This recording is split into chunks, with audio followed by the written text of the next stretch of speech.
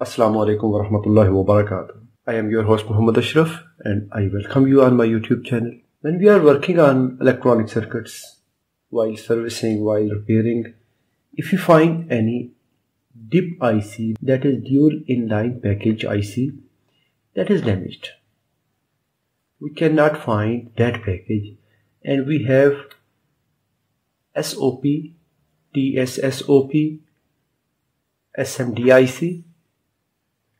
How to use this IC in place of this IC. Part number is same, the package is different. Just for example, I am using CD4053 IC.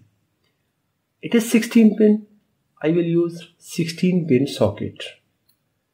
This 16 pin socket is a round pin socket or we can use this one that is regular socket any one socket let's make converter first point to make converter on original IC you will see cut side here index or any dot mark cut mark here this is pin number 1 2 3 4 5 6 7 8 9, 10, 11, 12, 13, 14, 15, 16. Same here on this IC. Sometime here is dot mark, sometime here is bar. Any indication that will indicate that this is pin number 1 or left side.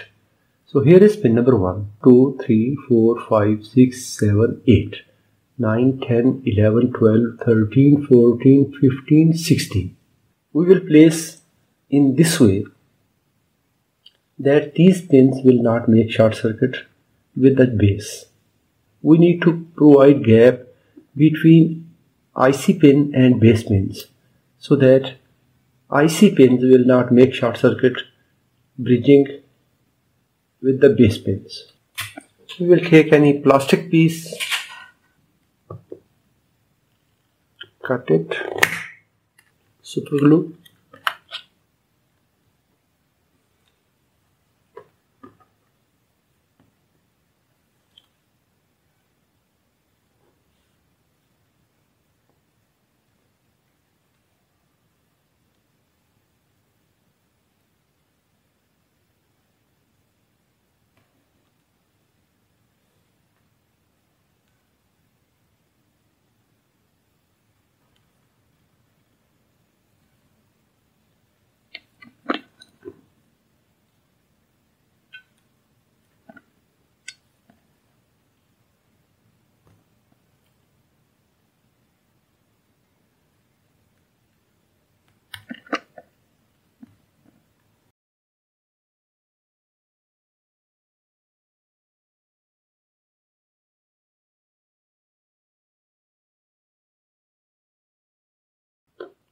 There are also SMD to DIP converters available in the market. You can purchase that one.